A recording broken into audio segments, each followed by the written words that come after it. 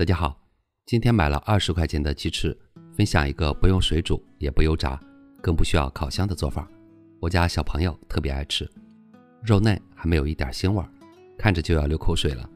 首先把鸡翅倒在大碗里，加入一勺食盐，再加入能没过鸡翅的清水，下手抓拌均匀以后，先把它给浸泡十分钟。盐水的穿透力更强，可以泡出鸡翅里面的血水。十分钟以后，咱们再用流水冲洗两遍。洗到水变得清澈为止，然后把鸡翅放到案板上，像这样在肉厚的一面切两刀，这样鸡翅会更好入味儿，而且更好成熟。然后全部放到锅里，加入葱段和姜片、料酒，再加入能没过鸡翅的清水，先用大火把水烧开。这一步一定不要盖锅盖，这样它的鲜味儿才能散发出来。水开了以后，中火煮个两到三分钟，再用一个罩里把表面的浮沫给撇去不要。然后用筷子把鸡翅一个个夹出来，不要过凉水，用厨房吸水纸擦干表面的水分。过凉水以后的鸡翅肉质就没有那么鲜嫩了。接下来准备一些辅料，几瓣大蒜拍扁以后切成蒜末，蒜可以多来几瓣，这样蒜香味更加浓郁。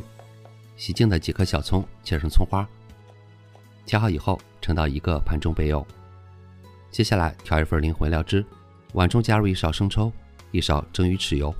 胡椒粉去腥还能增香，适量点调味儿，三十克蜂蜜，再加入约半碗温水，搅拌一下，让这些调料完全化开备用。起锅加入少量的食用油，刚好能没过锅底就行。咱们不需要油炸，油不用放太多。油热以后，再把焯过水的鸡翅摆进来，整个过程用中火来煎。中间你可以像这样轻轻地晃动一下锅，让鸡翅受热均匀。把底部煎至金黄色以后。再把它们全部翻个面，把另一面也煎成金黄色。煎好以后，如果锅里剩的油比较多，可以用勺子盛出来留着炒菜用。锅里少留一点底油就可以。下入葱花和蒜末，再把它们的香味给炒出来，让鸡翅充分吸收一下蒜香和葱香味。